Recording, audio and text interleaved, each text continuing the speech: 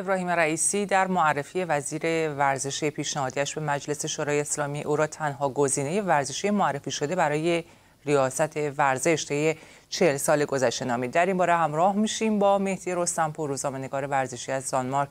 مهدی این موضوع چقدر برای خود جامعه ورزش حائز اهمیته؟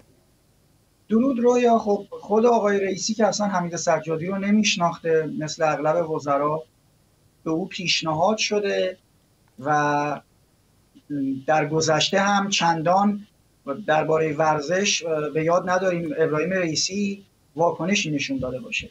اما اگر که ورزشی بودن حمید سجادی می‌تونه بسیار مفید تلقی بشه خب او پیشتر معاون وزیر ورزش هم بوده ولی اتفاق ویژه‌ای در ورزش کشور رخ نداد.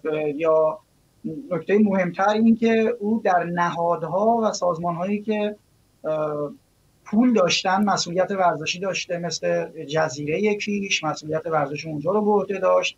همچنین بازار بزرگ ایران ایران مال یا باشگاه سایپا. اما هیچ گونه فعالیت چشمگیری صورت نگرفته. در ورزش بانوان ورزش زنان فعالیت نداشته. و ولی خب بله سابقه ورزشی داره. اما اینکه چقدر بتونه این قضیه به ورزش کشور کمک کنه نسبت به گذشته این رو کسی بهش اذعان نمی‌کنه چون که به هر حال نگاه و نگرش نظام جمهوری اسلامی بر ورزش هیچگاه در اولویت نبوده به طور کلی نسل جوان و ورزش ایران هم همون روندی رو که در دهه های گذشته بعد از انقلاب طی می‌کنه رو با حداقل نوسان داره پشت سر می‌گذاره. مهدی قدیمی ترین تور بین المللی دوچرخه سواری در ایران به دلیل عدم تصفیه حساب با اتحادیه جهانی این رشته ورزشی اجازه برگزاری نداره. موضوع از چه قراره؟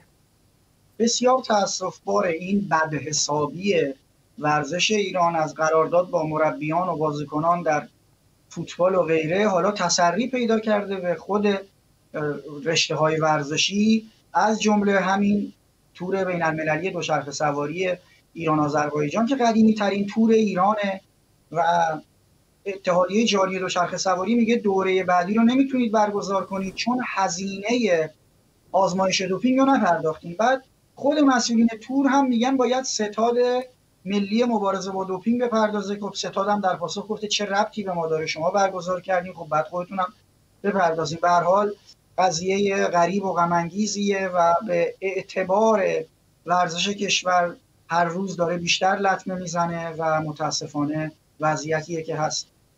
و یک خبر هم از کشتی فرنگی قهرمانی جهان در نروژ در تنها وزنی که محمد بنا مسابقه انتخابی برگزار کرده مهرداد مردانی انتخاب شده. اما چرا فقط در یک وزن؟